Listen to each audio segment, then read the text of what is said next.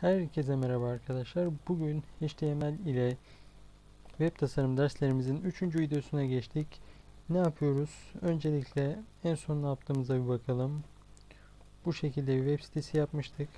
Biz şimdi bunun kodlarını nasıl açacağız? Öncelikle şöyle yapalım. Bu diye bizim sayfamız sağ tuş tıklayıp Edit with Notepad Plus dediğimiz zaman açılıyor. Ben sayfanın yarısını kullanmayı tercih ediyordum. Ondan dolayı yan tarafa yasladım. Burada da web sitemizi açtım. Şimdi şu sayfadayken yani Chrome'da veya Google yani bir web sitesinin içerisindeyken kodlarını nasıl görürüz? Şu kodları görmek istiyorum. Herhangi bir yeri seçtim. Nereye görmek istiyorum? Burayı. Sağ tuş tıkladım. İncele veya ögeyi denetle. Sizde ne yazıyorsa artık. Tıkladım ve karşıma Aha da böyle bir şey çıktı. Şöyle büyüteyim. Şu kısım belki sizde altta da olabilir. Bu arada siber güvenlik çalışan arkadaşlar şuradaki konsol ekranını kullanaraktan web siteleri üzerinde sızma denemeleri yapabiliyorlar. Neyse bu bilgiye geçelim.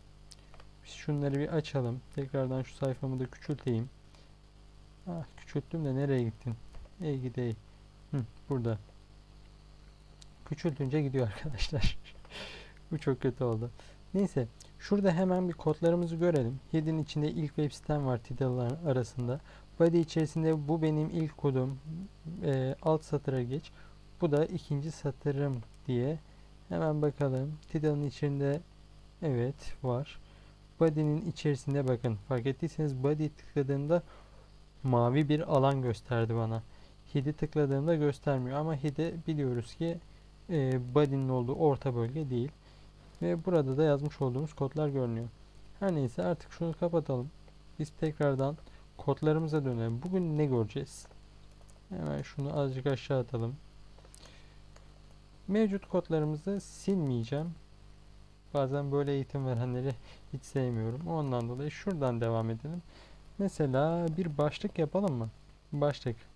Ben şimdi buna başlık yazdım. Kaydet dedim bu sayfayı yeniledim ve buraya yazdı. Ben bunu ne yapacaktım? Ben bunu bir paragraf olarak kullanmak istiyorum.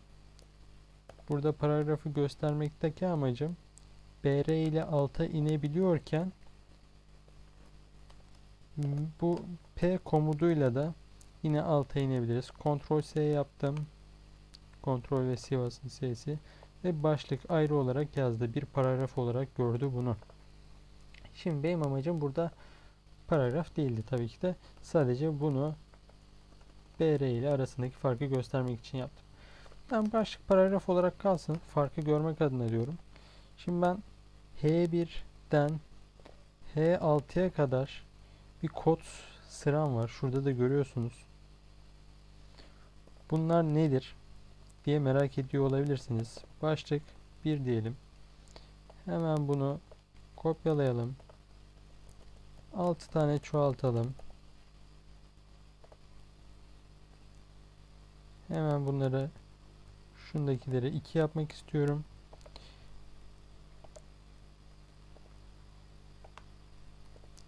Şimdi şuna da 6'yı yazayım.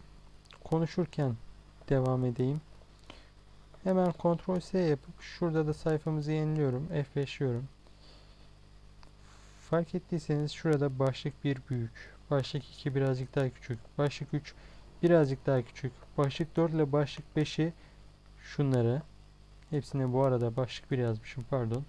Bunları hiç değiştirmediğim için büyüklüğü aynı kaldı ve başlık altı inanılmaz şekilde küçük. Şimdi burada bunlar aslında başlık etiketi. H1'den başlayıp H6'ya kadar gidenler. E hocam H7 yok mu? Hemen deneyelim. Zaten fark ettiyseniz H7'yi hiç renk içerisine almadı. Burada ne olacak? Muhtemelen muhtemelen H7'yi de yazacak. Ben de sizle birlikte ilk defa deniyorum. H7 harflerini de yazmasını beklerdim. Fakat bunu hiç umursamadı bile. Böyle bir kodun olmadığını, burada bir hata olduğunu fark etti ve şuraya sadece başlık yazdı. Şu gördüğünüz başlık bu eklemiş olduğum başlık. Hatta şöyle başlıktır diyerekten de evet şu. Şimdi ben bunun farklı olduğunu göstermek için şu H7'leri öncelikle bir sileyim.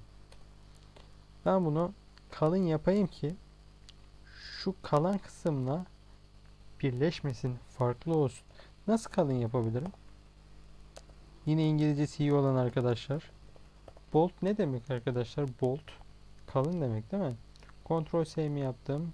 Geldim buna. Buna da F5'imi vurdum ve başlıktır yazısı direkt burada geldi.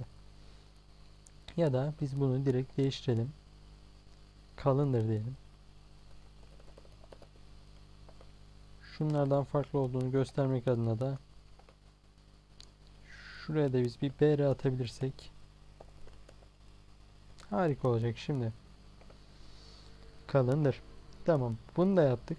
Şimdi kalın yazı var. Bir Word'ü hatırlayalım. Word'de ne vardı?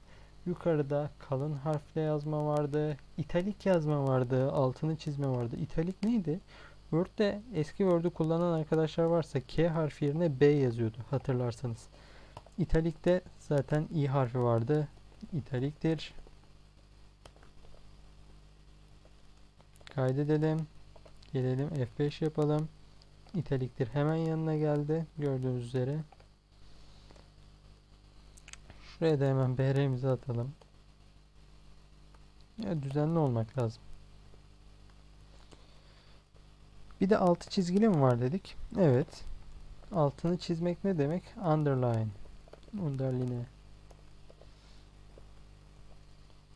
Hemen bir daha F5 yapalım. Gördüğünüz üzere altı çizili de U harfiyle yazılıyormuş. Başka ne kullanabiliriz? Mesela small kullanabiliriz. Small nedir? Hadi bakalım. Sizce nedir?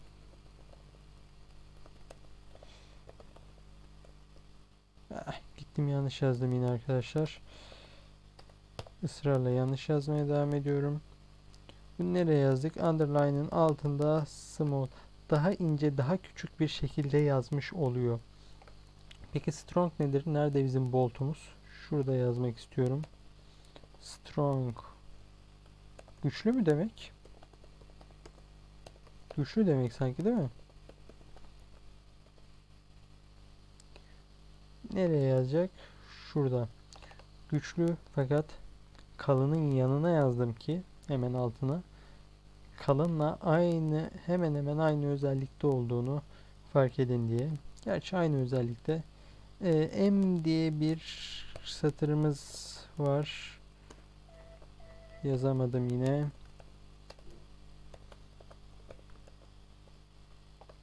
Sizce nedir? Böyle eğik, değişik bir yazı türü. Ya bunu ben de çok kullanmıyorum. Çok sık kullandığım bir şey değildir. Ee, ama mesela şu small'u yazdık. Small varsa hocam big yok mudur? Vardır. Arkadaş niye ısrarla gidip oraya tıklıyorum? Hemen small'un yanına bakıyoruz. Big geldi. Birazcık daha büyük bir yazı. Peki bir tane daha bir katarsak ne olur? Gibi soruları kendinize sorup şu big'e bakın. Bu kadar. Daha da big oldu. Hocam daha da big yapmak istiyorum deyip şunu komple alıp kopyalayıp yapıştırasım var da yapmayacağım öyle bir şey. Şöyle yapalım. Big big oldu.